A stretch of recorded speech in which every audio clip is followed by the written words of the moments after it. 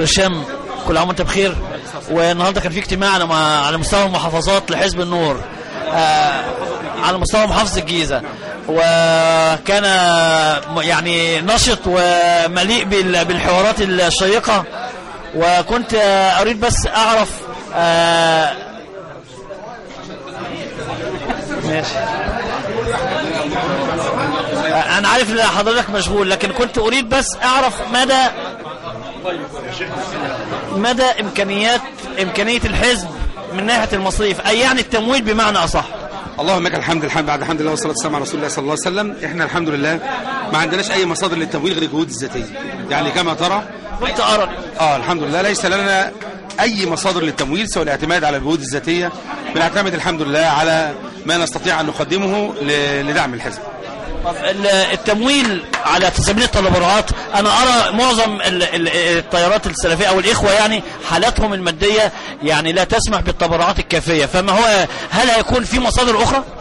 إلى الآن ما عندناش مصادر أخرى لكن اللهم لك الحمد والشكر يا رب عندنا مجموعة من المشروعات العملاقة لو لقينا الناس اللي تقدر تتبناها وتقوم عليها هيبقى في مصادر دخل جيدة جدا للحزب سمعت في في الجلسة النهارده اللي حضرتك هتعمل بعض المؤسسات الخيرية ممكن اخد نبذة عنها؟ إن شاء الله تعالى إحنا في طريقنا إن إحنا نعمل بعض ال ال ال ال الأعمال الخيرية والاجتماعية بشكل قوي على مستوى المحافظات كلها مش الجيزة بس.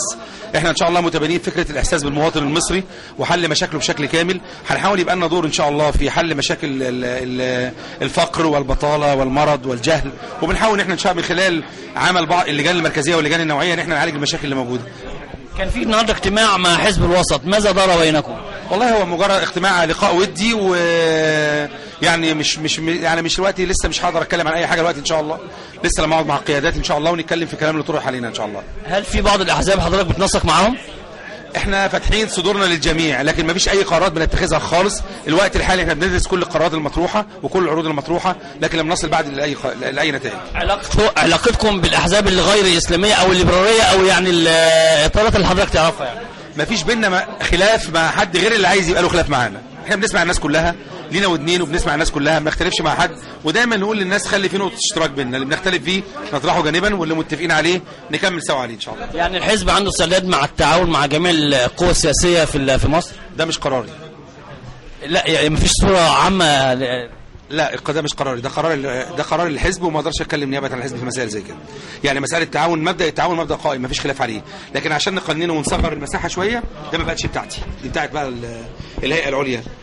وأنا فرد واحد فيها معظم التيارات متخوفين من الإسلاميين من إقصاء التيارات الأخرى فهل ده موجود إقصاء؟ يعني هل التخوف دوت له مبررات فيه؟ زي بالظبط لما كانوا خايفين من قطع الودان ورش مية النار والكلام ده كله.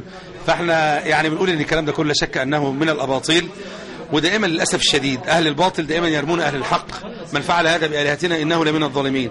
بقى سيدنا إبراهيم هو اللي من الظالمين. حزب النور كان ليه آه، يعني حشد شديد في جمعة الشريعة وأنا راصد هذا من يوم الخميس ليلة الجمعة وحضرتك كنت بتقول المسيرة وأنا مسجلها وكان آه، حجم شديد. فهل عندكم قدرة في حالة نجاح الحزب بإدارة البلاد إدارة جيدة؟ إن شاء الله تعالى هذا ما نأمله وإحنا نتوكل على الله عز وجل في الدقيق والجليل وده أملنا في الله سبحانه وتعالى. الحمد لله عندنا الكوادر وعندنا ناس مؤهلة تماما وإحنا مؤمنين بالتخصص. يعني مؤمنين بأن التخصص كل واحد حط في مكانه وعلى كرسيه.